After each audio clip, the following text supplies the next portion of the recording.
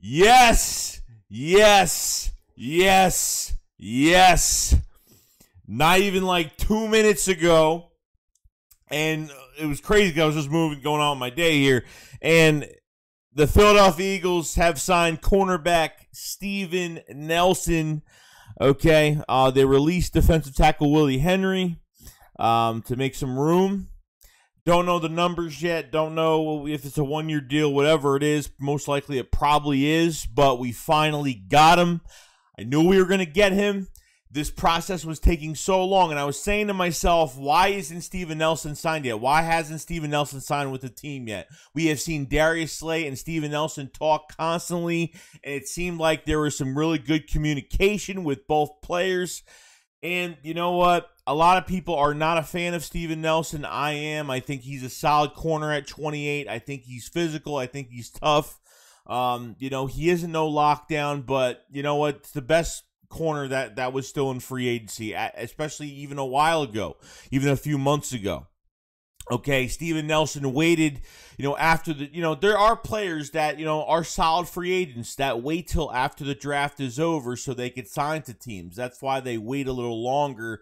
This way, you know, they know they're going to have a starting spot. And we have a starting spot wide open for Steven Nelson. And um, this is a arguably a, a, very solid cornerback that's capable to uh, play man, play zone, and, you know, do good things. And it could be a really good role player. Um, um, and a defense. That's what I could put him as right now for the Philadelphia Eagles. So it happened. We don't have to talk about it anymore. So I'm very happy about it.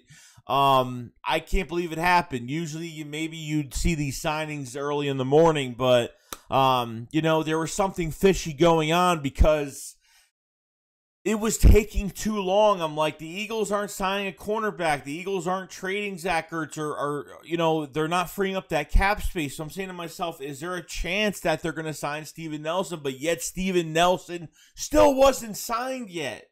Um, I'm so happy. I am. I'm really happy. And then on top of that, you have guys like this that come in you know, especially with Darius Slay, obviously, and could teach guys like Zech McPhearson, could teach other guys on this roster. But now, legitimately, the Eagles have a number two corner right now, and you know, obviously, you know, uh, we're i am more comfortable. I feel set going to training camp. I feel good going to training camp. I feel great right now. So let me know what you guys think. Steven Nelson is finally a Philadelphia Eagle.